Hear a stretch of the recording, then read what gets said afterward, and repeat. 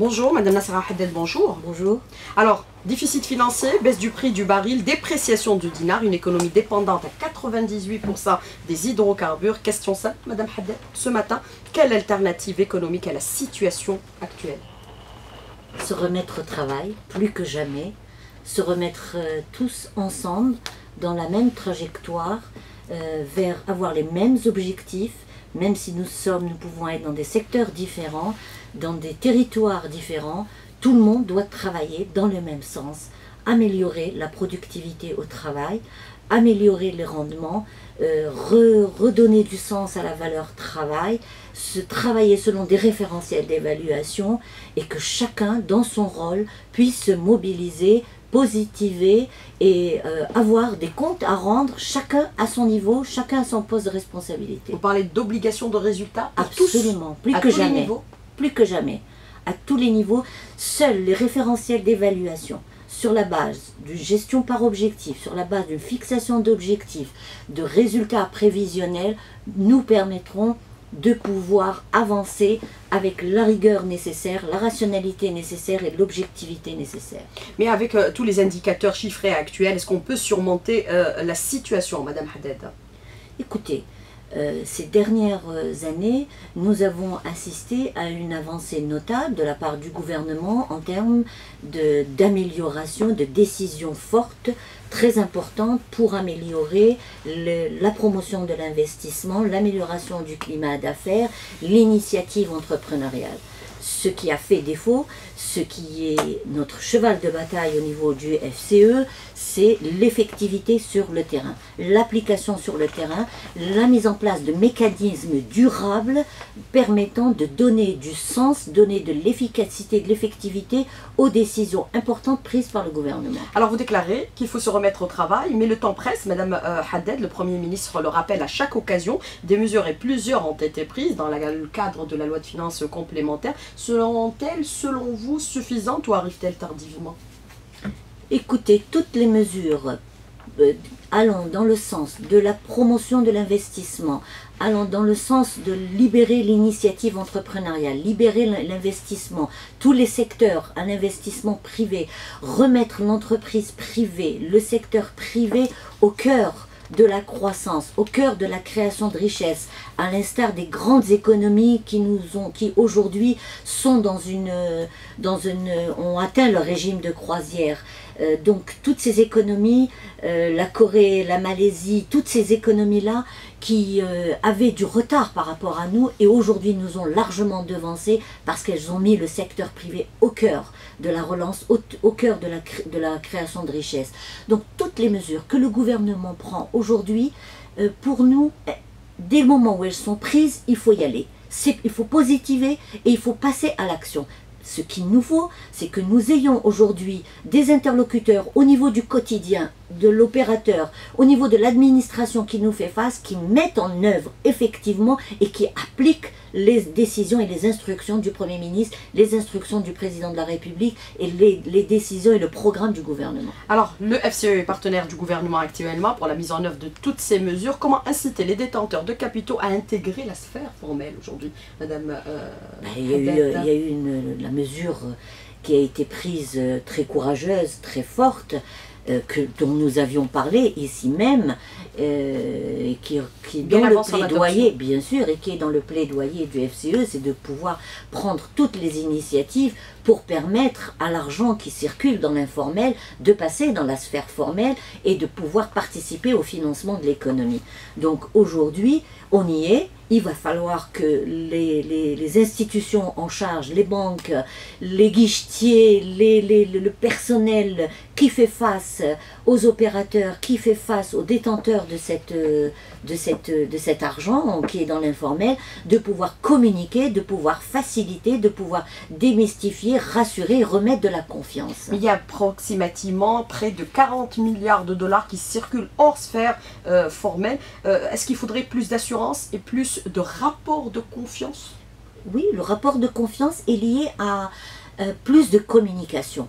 Plus d'informations de, de proximité, une communication de proximité pour pouvoir permettre à tous ces gens qui aujourd'hui sont hésitants à venir et à pouvoir rentrer euh, dans le processus qui a été enclenché par la, décision prise par le gouvernement dans ce sens. Alors une grande réunion associant les experts sera organisée le 20 de ce mois sous l'égide du CNES. L'implication des experts, est-ce qu'elle est aujourd'hui, euh, les experts qu'on n'a jamais quasiment consultés, et selon vous aujourd'hui, cette consultation incontournable elle arrive à point nommé. Euh, aujourd'hui, euh, nous, on considère, personnellement, je considère que toute démarche de concertation, de dialogue est bénéfique aujourd'hui. Elle est très importante. C'est avec le dialogue, avec essentiellement le dialogue social, qu'on peut construire les sociétés de progrès. Euh, la rencontre avec l'expertise est une rencontre qui va permettre, je l'espère, donner plus d'orientation, une valeur ajoutée à apporter dans l'opérationnalité des décisions importantes prises par le gouvernement. Il faut aller maintenant à la mise en œuvre de mécanismes, d'instruments, de dispositifs permettant de rendre effective la volonté du gouvernement à plus à améliorer le climat d'affaires, à améliorer l'ouverture, euh, vraiment à consolider le partenariat public-privé, à, améliorer l'attractivité de notre économie vis-à-vis des investisseurs euh, étrangers, des partenaires internationaux. Donc, s'il cette rencontre avec l'expertise va dans ce sens-là, c'est très important. Aujourd'hui, notre souci, euh, c'est euh, de pouvoir euh, améliorer, retrouver la productivité, améliorer la compétitivité de notre économie, créer de l'emploi. Donc au-delà, au-delà des approches analytiques, au-delà des approches théoriques, nous avons besoin de solutions pragmatiques, de solutions concrètes, euh, nous permettant très vite améliorer l'efficacité des dispositifs au niveau local et au niveau de l'administration centrale. Vous parlez de solutions, quelles solutions préconiser aujourd'hui, puisque vous avez formulé un certain nombre de propositions au niveau du FCE, une cinquantaine que vous avez Écoutez, nous, nous irons, nous irons, à cette rencontre avec notre plaidoyer. Nous, notre plaidoyer, notre document de travail est un document de référence. Nous l'avons présenté au gouvernement. C'est un document qui émane, qui est la voix des entrepreneurs. C'est la voix de l'expertise qui est sur le terrain. Parce qu'aujourd'hui, un chef d'entreprise, il, est, il devient expert par rapport à la pratique de quasi quotidienne euh, sur le terrain et c'est cette voie-là que traduit notre plaidoyer et c'est cette voie-là et c'est ce document-là que nous euh, qui sera sera un document de référence, un document de base de discussion avec euh, lors de cette rencontre Inch'Allah. Alors justement, il y aura cette rencontre le 22 ce mois sous l'égide du CNES, on écoutera les experts, mais on les a jamais écoutés par le passé. Qu'est-ce qui va changer cette fois-ci? Euh, Selon vous, Madame Haddad Écoutez, euh, les, experts défilent sur les plateaux de télévision, dans vos studios, euh, il y a des écrits, il y a ce qui a manqué, c'est de pouvoir mettre en œuvre, c'est de pouvoir mettre en œuvre. Aujourd'hui, un constat très important positif, c'est qu'il y a une convergence de points de vue entre le gouvernement, l'expertise, les entrepreneurs. Voilà, donc ça c'est important. Le défi, le challenge, c'est la mise en œuvre d'un plan d'action, d'une feuille de route avec des, un référentiel à fixer, des objectifs à fixer et des dispositifs d'évaluation et de contrôle à tous les niveaux. Alors, convergence de point de vue, gouvernement, euh, euh, entreprise et experts, que faut-il? Puisque le Premier ministre dit nous n'avons pas beaucoup de temps aujourd'hui pour sortir de la situation dans laquelle nous nous trouvons actuellement. Absolument. De façon concrète, Madame Mais le Premier ministre a aussi dit qu'il n'est plus permis euh, qu'un quelconque responsable puisse euh, faire obstacle ou puisse empêcher la mise en œuvre des décisions importantes pour améliorer le climat d'affaires, améliorer l'investissement et revenir à une croissance inclusive, particulièrement au niveau local.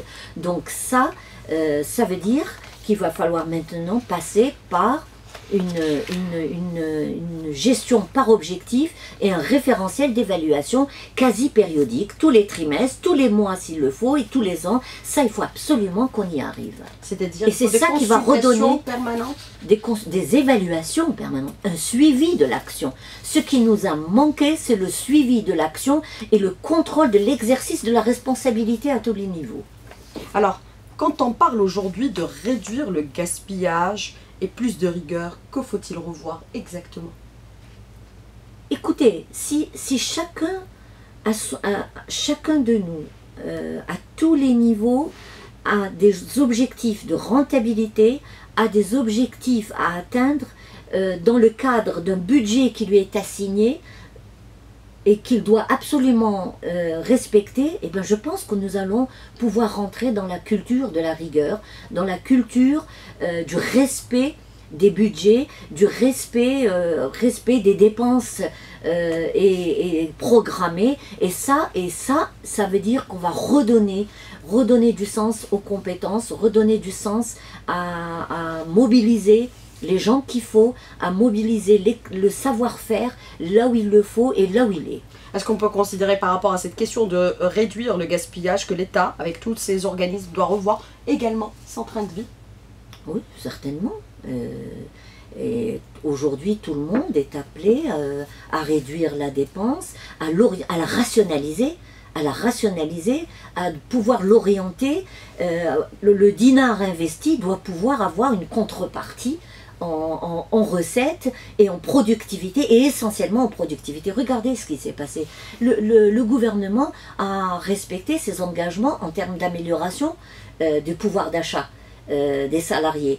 Il a, il a accédé à la demande des différents secteurs d'activité par l'augmentation des salaires. Mais cette augmentation des salaires ne s'est pas traduite par une amélioration de la productivité.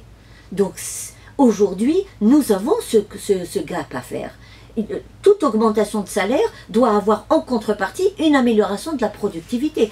Les, assainissements répétitifs du secteur public n'ont pas donné lieu à une amélioration de la croissance et du rendement au niveau du secteur public. Ça, c'est quelque chose qu'il va falloir régler. Regardez les statistiques de l'ONS. J'écoutais comme vous les informations ce matin. L'amélioration des salaires au niveau du secteur public. Le public paye mieux aujourd'hui que le paye mieux à une amélioration du rendement, à une amélioration de la productivité au niveau du secteur public. Mais ce même assainissement est revendiqué aujourd'hui par le FCE pour les entreprises privées, Madame Haddad. On n'a pas demandé un assainissement au niveau du secteur privé. On a demandé un très des entreprises en difficulté. On ne, on ne, on ne demande pas un assainissement, on, on, demande un traitement des entreprises en difficulté. Il y a eu des ajouts déjà par le passé. Qui a été largement insuffisant parce qu'il a été conçu. oui, il y a eu, il y a eu, mais qui était bien en deçà de, de, la résolution de la tripartite. Parce que le dispositif qui a été mis en place par la BEF a été un dispositif qui a été vu uniquement par le côté banquier. Il n'a pas été vu du côté euh, patronale et du côté entreprise. Donc aujourd'hui, il faut, il faut pouvoir mettre en place un filet de sauvegarde pour les entreprises en difficulté. Parce que les entreprises en difficulté qui ont qui sont porteuses de croissance, qui ont un potentiel de croissance, qui ont un potentiel à aller à l'export, c'est là où l'investissement doit pouvoir se faire et les facilitations de la part des banquiers, de la part de l'administration fiscale doivent absolument se faire. Alors on s'est fixé des échéances à horizon 2019, atteindre 7% de croissance. Comment l'atteindre aujourd'hui? Quel, objectif doit-on fixer Madame Haddad? Eh se remettre à travailler, libérer l'initiative entrepreneuriale, libérer l'investissement dans tous les secteurs, ouvrir l'investissement dans tous les secteurs, améliorer encore plus le climat d'affaires, mettre des objectifs véritablement de performance à l'administration qui fait face aux opérateurs. Et là, je pense que à ce prix-là, nous allons pouvoir. Euh, c'est un, objectif sur lequel s'engage le FCI on va même au-delà. On y croit. Nous sommes sur le terrain et nous savons que nous pouvons tenir ce challenge pour peu que nous ayons en face de nous une administration une euh, centrale, une administration locale capable de tenir le challenge et capable de nous suivre. Alors j'ai une question d'auditeur. Quel est votre avis sur les dispositions contenues dans la loi de finances complémentaire pour 2015, notamment en matière d'IBS touchant le secteur des services? Madame euh, Haddad Alors ça c'est la nouvelle bataille, c'est une seconde bataille. Nous avons avec les les mesures prises dans la loi de finances complémentaire, nous avons pris acte et favorablement et positivement parce qu'il y a eu une véritable écoute de la part du gouvernement, mais nous devons encore aller plus loin, particulièrement au niveau des services. Euh, aujourd'hui, c'est un secteur qui est absolument à encourager dans- pour plusieurs raisons. La première, c'est que c'est un secteur créateur d'emplois très important. C'est un secteur créateur de, de richesses et de valeur ajoutée très important. C'est un secteur qui peut permettre à- au gouvernement d'aller vers l'amélioration de la qualité de vie du citoyen. C'est un secteur qui va pouvoir permettre de résorber le chômage, de pro- de- d'améliorer l'employabilité des jeunes et des femmes qui sont des catégories très importantes. Donc aujourd'hui, les services à l'industrie sont à valoriser. Les services à l'industrie, l'ingénierie sont à valoriser parce que ça nous permet de valoriser l'expertise nationale. Ça nous permet de réduire la facture à l'importation. La facture à 12 milliards de l'importation, en moyenne, elle tourne entre 10 et 12 milliards de dollars la facture Pour à l'importation. Il faudrait revoir cette disposition. Absolument. Fixée pour les services? Pour les services, on ne parle pas de l'importation, on parle des services, des services à l'industrie, le tourisme. Le tourisme qui est un secteur qu'on doit absolument prioriser